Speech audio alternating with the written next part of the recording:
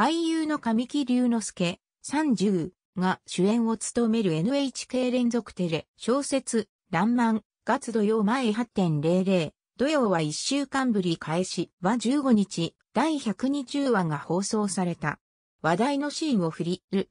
以下、ネタバレ U 朝ドラ通算108作目。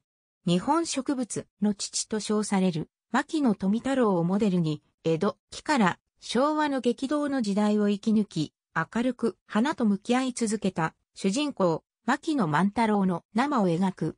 脚本は NHK、流行官房、群青領域、旅屋岡、里なども手掛けた、注目の劇作家、長田育恵。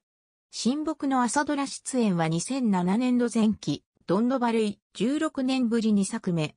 初主演となる。男性主人公は20年度、キ、エール、久保田正孝以来3年ぶり。第120話は早川いつ、宮野守が連れてきた資産家、長森徹、中川、志は、万太郎、神木隆之介の図鑑の出版や標本、保存に投資をしたいと申し出る。そして、季節、夏から秋へ。万太郎が熊野への最終旅行から、田頃、竹雄、子孫淳と、綾、佐久間由衣、藤丸、前原、樹は酒蔵を買い取り、沼津へと移ることに、万、老もある決意を固める、という展開。旗の前、広しは、竹雄のそばが食べられなくなり、どうや手来ていけばいいんだろうって。藤丸は、そ、近いと突っ込みを入れた。藤丸、旗の、お別、だな。俺が遠くに行っても平気か。旗の、そ、こそ。僕がいなくて文献読めるの。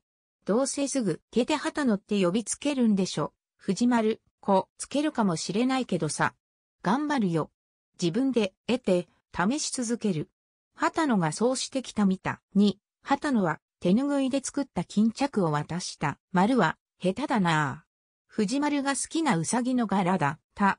万太郎と綾は、第21話、5月1日と同じように指切れ、玄満、そこに竹雄と末子が手を重ねた。お酢に酒を注ぎすぎた万太郎が差し出した手。具意には、峰、山辺なし、峰屋の文字。